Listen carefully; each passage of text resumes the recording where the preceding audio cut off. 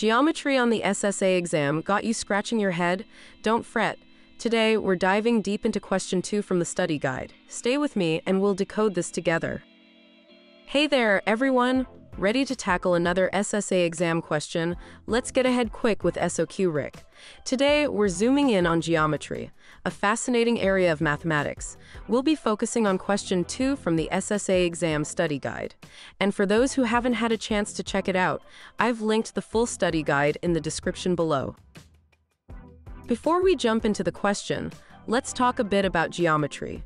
It's a branch of mathematics that has been around for centuries, dating back to ancient civilizations. Geometry is all about understanding shapes, sizes, properties of space, and how different figures relate to one another. It's not just about solving problems on paper. It's used in architecture, art, engineering, and even in nature. Time to explore our question. It reads, the total length of fencing needed to enclose a rectangular area 46 feet by 34 feet is First, let's visualize this. Imagine you have a garden that's rectangular and you want to put a fence all around it. How much fencing would you need? To solve this, we'll find the perimeter of the rectangle. The formula for the perimeter is 2 times the length plus 2 times the width. Let's do the math. 2 by 46 feet plus 2 by 34 feet equals 92 feet plus 68 feet equals 160 feet. But wait, the options are in yards. Remember, 3 feet make a yard. So, converting, 160 feet divided by 3 equals 53 and a third yards. The correct answer is D, 53 and a third yards. Now, let's see how the answer key approaches this problem.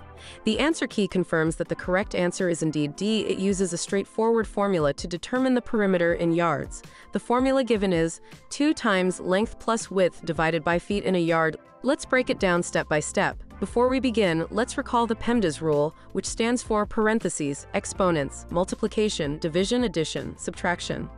Using the PEMDAS rule ensures we handle mathematical operations in the correct order. Step 1. Following PEMDAS, we'll handle the operations inside the parentheses first.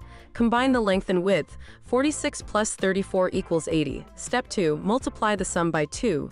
2 times 80 equals 160. Step 3. Convert the total feet to yards. 160 divided by 3 equals 53.333. Step 4. Express the decimal in fraction form, which gives us 53 and a third yards.